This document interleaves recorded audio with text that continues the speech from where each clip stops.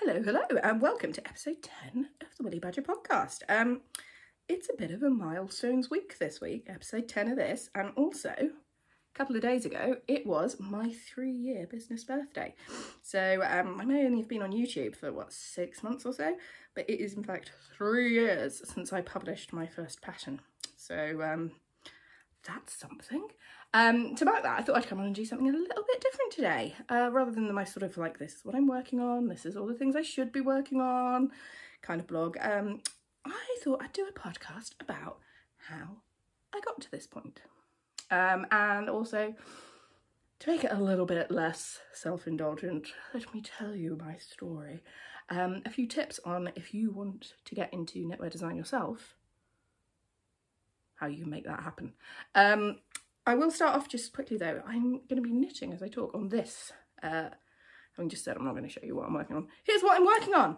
Um, it is, as you can see, a raglan sweater. Uh, it is called Chuck because it is chuck-onable. Um, you can see along there, there's a little bit of a line where I have put in bust darts to make it sit better. Um, it's not got a bust adjustment for the width in it because it's designed to have a decent chunk of ease anyway.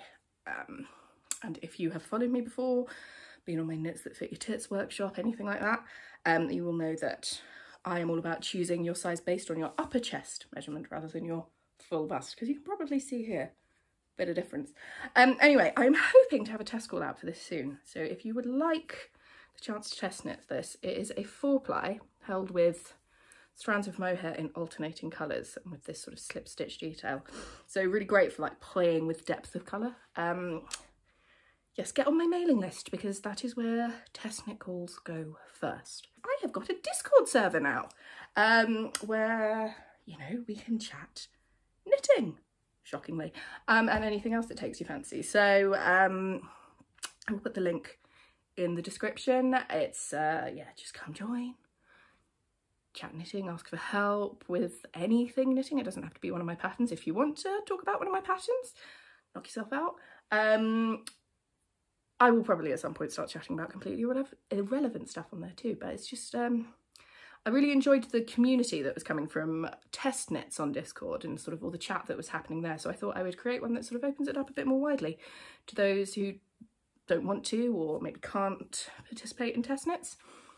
Come join. Anyway, shall I get my cup of tea and shall we get started on the story? So, knitwear design and knitting teaching. Not necessarily the most obvious career move for me. Um, I started off uh, my sort of adult life as an English student. I went to the University of Birmingham, I studied English. I then uh, faffed about for a year, took my gap year, darling. Um, went around South America a bit, and then I went to do a Masters in American Literature at the University of Sussex. And whilst I was there, I applied for a graduate scheme. And to be honest, I applied and I was not expecting for a single moment that I would get accepted. Um, I did not have a business type background at all. You know, I had uh, worked in independent bookstores, top-notch job, by the way. Um, I had done a bit of like admin temp work in university holidays. My uh, degrees qualified me for roughly nothing. Um, but somehow they accepted me. Um, and if I tell you that this was 2008, that might give you a clue as to why I felt compelled to accept the job uh, because the credit crunch was starting to happen. Now you may be saying, what on earth does this have to do with knitting? And I will tell you what it has to do with knitting. So I had initially been taught to knit as a kid by my babysitter. Um, her name was Maureen. She looked exactly as you would imagine a Maureen to look. Um, and she had the misfortune of regular babysitting on a Thursday night for us. Um, Thursday night in the early 90s was Top of the Pops night. So Maureen got treated to an awful lot of dance routines.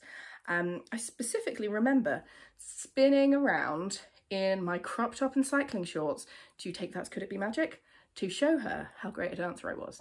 Uh, spoiler alert, not a great dancer. Sorry, it was the doorbell. It was um, my son's passport, black, Brexit. Anyway, Um, yes, Maureen, I think, taught me to knit largely to shut me up and save herself from these dance routines.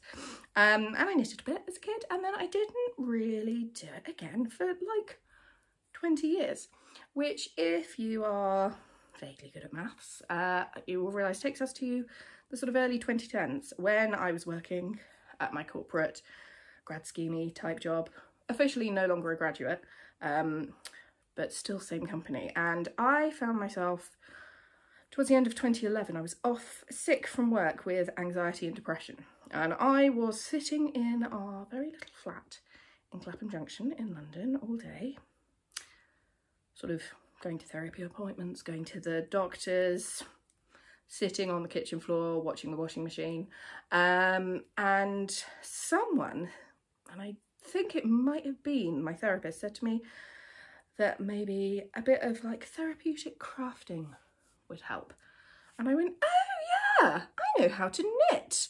Um, I've sort of done it in bits and pieces since the good old days of Maureen, but um, not seriously.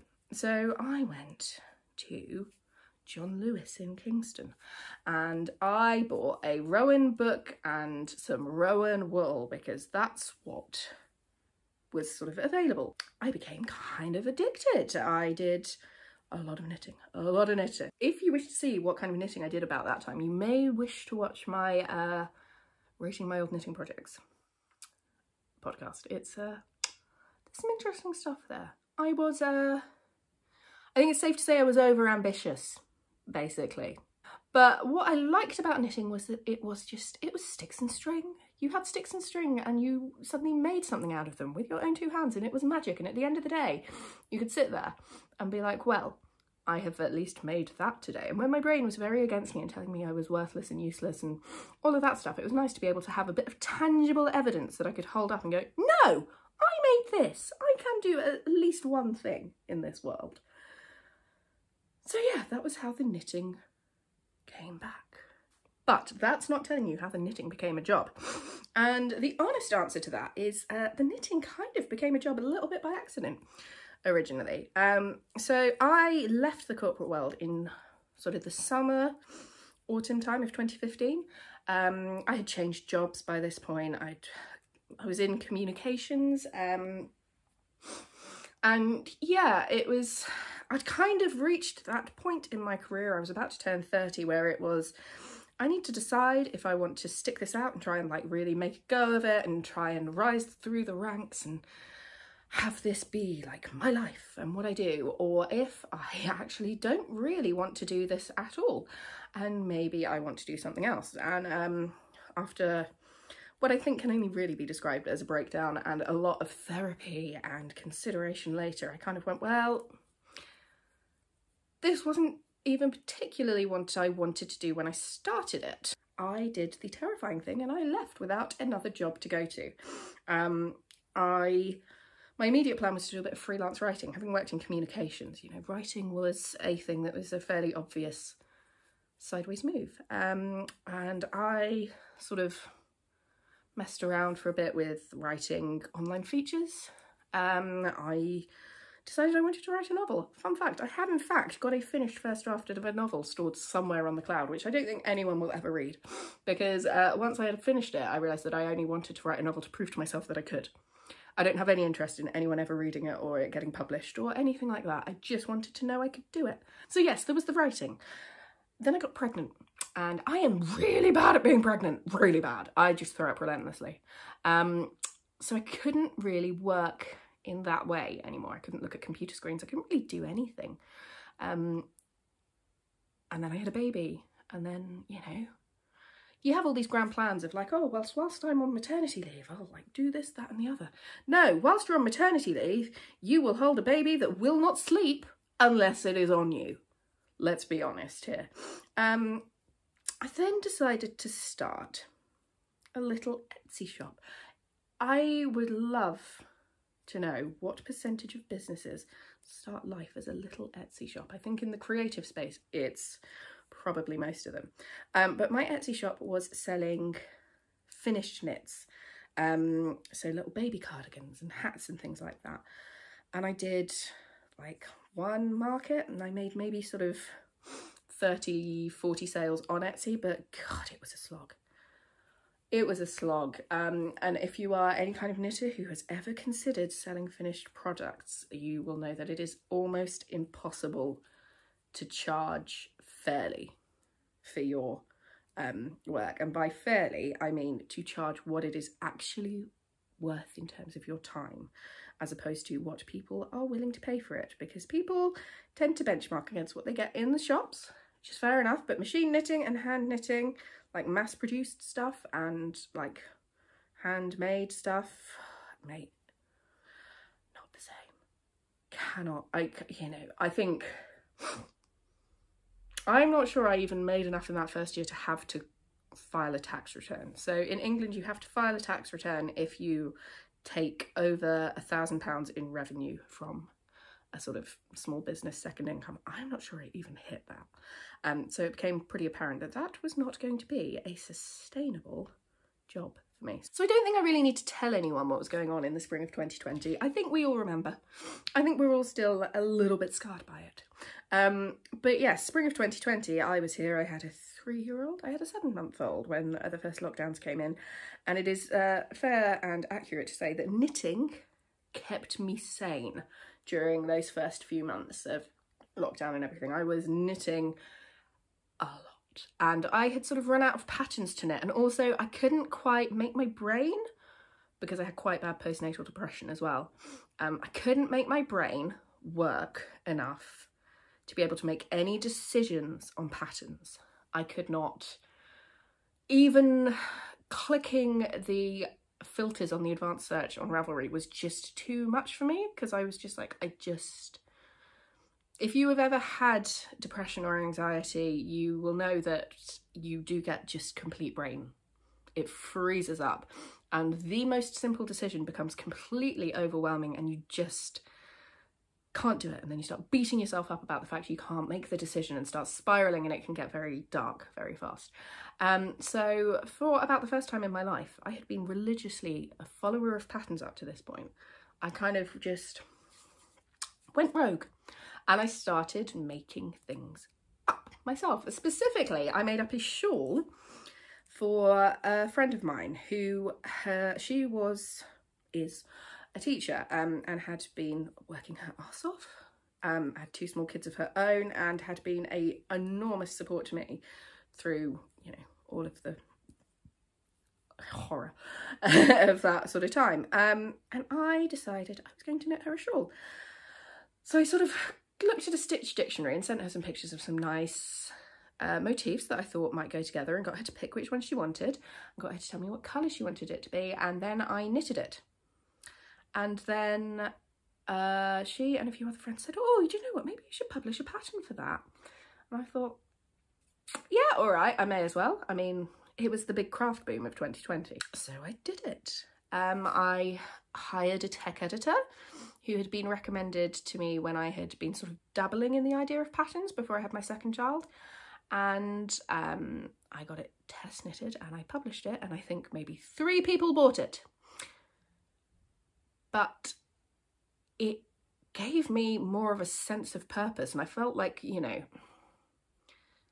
it was such a time when everything was out of control in every possible way and it felt like this tiny little pocket I could control and also it was just really fun. So yes, that shawl, that was the beginning of it. Um, that I published on June 26th, 2020. And I think uh, over the next sort of six, seven months or so, I published various other accessories. There were some socks, hat, cowl, um, and then I decided to go for the big boy garments. And it was with this slip stitch motif that has become the like Jimmy Jab signature thing. I had first put it on a hat, which is called the Bingpot Beanie. You will note there is a theme in these names if you're a Brooklyn Nine-Nine fan. Um, and my eldest really liked it. He liked his colory hat and he asked me if I could make it into a jumper. And I thought, hey, you know what, I'll give that a try. But this is the point where I'm going to switch tack slightly and stop being like old lady storyteller and start giving you a few of my hints and tips because it's all very well to sit here and say, oh, I did this and then I had a nervous breakdown and then there was a global pandemic and then I became a knit designer, woohoo! Um, I recognise that's quite a unique set of circumstances and I hope it's not one that any of you will find yourselves in. Um, so I'm going to tell you a bit more about the how and I am going to start with my one biggest tip. So I said earlier that I dabbled with writing for a while. I went to a few writing courses and the one thing that they all said was if you want to be a good writer, you have to read. You have to basically study your craft. Knitting's the same. If you want to be a knit designer, you got to knit. You got to knit everything. You've got to knit the different constructions. You've got to knit the different designers. You've got to knit the different sort of things. Um, and more than that, what I would do, and I realised I had been doing for, for the last couple of years before I really got into actually designing myself, was as I was knitting a pattern, I'd be sort of thinking to myself, oh, so why is that instruction saying to do that there? What is that doing? What is that creating in the fabric? I know I also said earlier that my degrees have me qualified for absolutely nothing, but it is a little bit weirdly like textual analysis from an English degree um, because everything in the pattern has been put there for a reason. Um, and if you knit it with the sort of mindset of, oh, what is that reason? What is that doing? It helps. If you want to design, you know, shawls, knit shawls. If you want to design jumpers, knit jumpers. Like, there is no better learning than the practical thing. Um, I'm not saying copy the instructions at all. I, in fact, I am saying absolutely do not copy the instructions. But there are some things that are sort of common across all design structures. Um, circular yokes all work from the basis of you start with this number of stitches and you end up with this number of stitches. Um, and working different designs will show you the different ways you can get there. And you can start working out what you want to do with yours. Tip two, when it comes to what to design. I don't know, I haven't actually spoken to that many other designers about this, but I know personally what I design is what I want to wear. Um, so I don't tend to sit there and go, oh, what's there a trend for at the moment? I tend to sit there and go, what do I want in my wardrobe? Chances are if you want it in your wardrobe, someone else will want it in theirs too. So yeah, I've never been that concerned about like, oh, what are the massive trends right now? What's um, what's on Ravelry's hot right now? Or what are the big hashtags on Instagram? Um, I think partly some of that is just my personality. I was a teenage goth. Um, I rejected the ordinary. I listened to angry music um, at university. Every boy I ever met at every party ever told me that I had to watch two things. I had to watch The West Wing and I had to watch Garth Marenghi's Dark Place. And I refused to watch either of those until I was like well into my 30s and then I was like, damn it, those those stupid boys at those stupid parties were correct.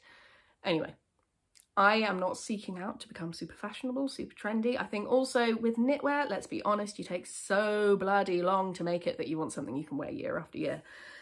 So yes, design what you would like. It's kind of build it and they will come, ish. Tip three, do not panic too much about originality. Um, I said just before that, you know, all sort of circular yokes follow the same basic thing. There's also a kind of thing there are only so many ways you can knit a jumper. Um, and certainly if you look around for like say basic plain raglan patterns, there are loads of them out there. Um, but they do all offer something slightly different. And what you are bringing to the table as a designer is not just the sort of finished item you're making, but it's also the how you're making it, the how you get there, which um, is in how the pattern is written a lot. One of the very biggest learning curves for me when I switched from being a consumer of knitting patterns to a writer of knitting patterns is that actually there are umpteen different skills involved. Um, there's the being able to come up with the knitting pattern, um, so being able to come up with the garment and being able to come up with something that will be repeatable across all sizes, um, that will look sort of similar and all of that. And then there's the actual writing of the pattern. Um, and I had assumed that because I could make a pattern, like make a garment that I was happy with, I would be able to write a pattern that was great straight away. Not the case.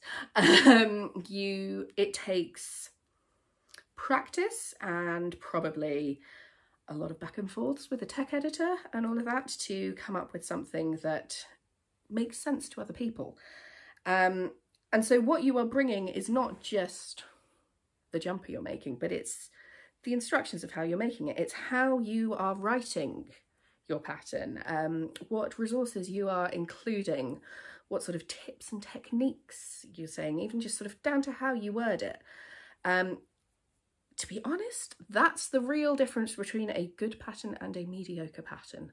Um, you can have a pattern that like you know a top that looks amazing and is completely original and all of that but if the pattern makes no sense no obviously there are caveats to this like don't straight up copy other people. Don't go oh that's really nice i'm gonna just rip that off.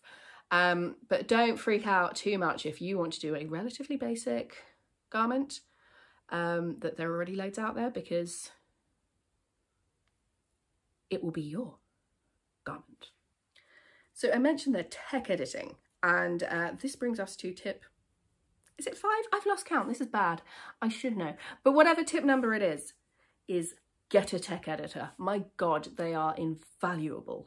They will check your maths, they will check that it all makes sense, they will, you know, proofread, do all sorts. I could not function as a knitwear designer without a tech editor. Um, it can seem a bit when you're first starting out and like maybe it's maybe you should skip it because you know it's spending money and when it's your first pattern it might be money that you're very loath to spend but it is so worth it um depending on the editor they can sort of charge between 25 35 pounds an hour it's kind of standard rate over here um so worth it and yes you make it maybe we'll sit there and go oh god but that's adding to my pattern costs and how is that gonna how am I to recoup that? It's making my break-even point. Like, just, just kick those thoughts away. They are not helpful to you. Biggest things about knitting patterns is once they are done and they are online and there for people to buy, they remain there. I still get people now buying patterns that I published two, three years ago.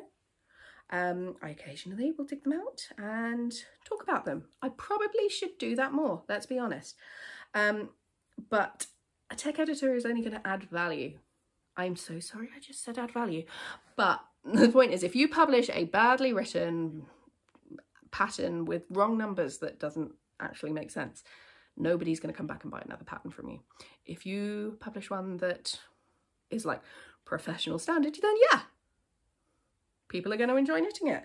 People will come back. Next point.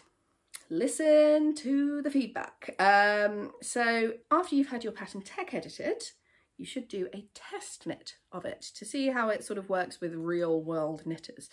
Um, I used to get test knitters through a platform called Yarnpond, which was really great for um, when you don't have a big following yet and you're sort of new to the design world, you can post your uh, test call on there and they have a pool of test knitters who have signed up um, can look at all the open test calls and go, oh yeah, I'll do that. There are also hashtags on Instagram you can use, um, you know, all of that stuff. I have now moved my tests off of Yarnpond and I run them through, I send out a, uh, sign, a like Google sign up form to my mailing list and then hold the actual test knits on Discord.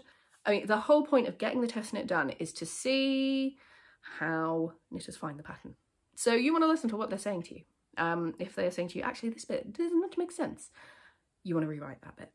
Um, you know, it does, yes, it gets you photos of your pattern knitted by different knitters in different yarns on different people, all of that stuff. But the real golden bit there is you get the feedback, um, which is why you want to test knit and tech edit. I know it can seem like extra faff. I know it can be annoying that you're like, I've got this pattern, I'm so excited, I want to get it out in the world. Like, I have got, I'm just finishing off my second sample here, the Tallulah camisole coming out soon, which currently only has one front strap. Um, this is currently in test knitting. I finished writing this pattern in like early May. It will be coming out. It's probably got another three weeks to go. It's slow. Everything in knitting is slow. It's all slow. It's fine. It's fine. Final tip. Just bloody back yourself. Like, I mean like I said, it's sticks and string. it sticks and string. Worst case scenario, you publish the pattern, no one buys it. You go, I tried, I'll move on. Um, best case scenario, you have a new job. Um, I spent many years before I actually started designing, sort of looking at patterns and being like, oh my God, this is amazing. I would absolutely love to do this and design patterns, but I never really thought I could until I tried. And um, there is very little that is quite as joyous as seeing somebody else knit one of your patterns and enjoy the experience of knitting it and enjoy wearing the finished thing. Like it still does genuinely blow my mind a little bit that, you know, you know, take this. This was an idea I had in my brain, the summer jimmy jab, and it is now out of my brain and it is in other people's like houses if they've printed it off or Ravelry libraries or their emails and they are knitting it and they are wearing it and I I do genuinely find that kind of bonkers in a brilliant way. I mean I just really love knitting really can you tell? Just love knitting. So yes that is my sort of story those are my tips. Um, if you are watching this like as it's just gone live there is um, a like celebration birthday sale going on uh, the code three bloody years, all in lowercase, all one word, gets 25% off all my patterns on PayHip. Uh, they're automatically discounted on Ravelry. Um, if you are not watching this before the 2nd of July, uh, 2023, um, then get on my mailing list because that's where I tell people about sales as they're going on. Um, and yes, if you have any questions, comments, any of that malarkey, let me know below. Um, I should also tell you to like and subscribe, shouldn't I? So yes, like, subscribe, all of that. Um, I am going to go and do some more knitting now, you know, just for a change. So thank you for joining me.